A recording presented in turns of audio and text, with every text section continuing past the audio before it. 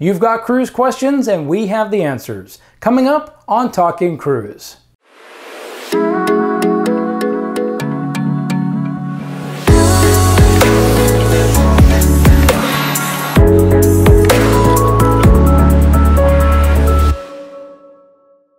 Hi, I'm Chris Cardona.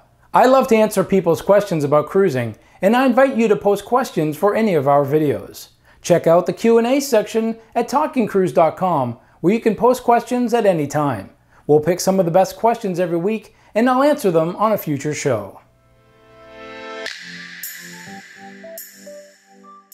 Many people do not realize that hurricane season officially starts June 1st and runs through November 30th.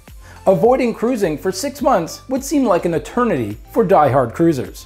You may also think that prices are lower during this time, when in fact rates for the Caribbean during the peak summer months of June, July, and August are some of the highest.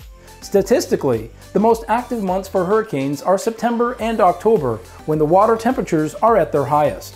While we do see a substantial reduction in cruise pricing in September and October compared to the summer months, that is largely due to the fact that demand is lower once children go back to school and less holiday time is generally taken it is important to understand that cruise lines watch the weather very carefully.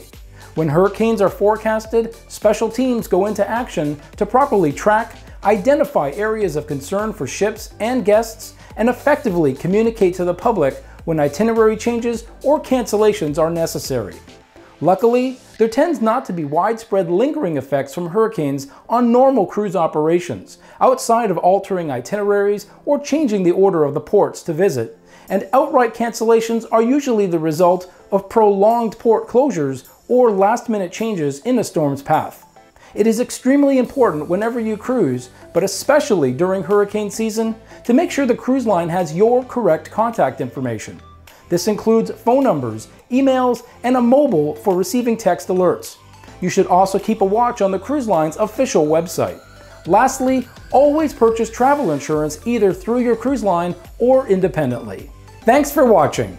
We'll be back next week with more answers to your cruise questions. Don't forget to like this video, post your comments and questions, and subscribe for more Talking Cruise.